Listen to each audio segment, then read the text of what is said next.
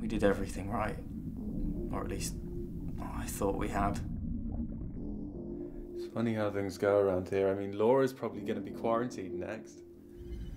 Which means I'm going to. I'm going to go in.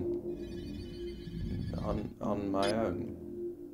I'm already in a fucking bubble.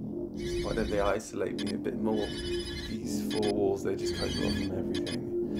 Silence and darkness and screaming.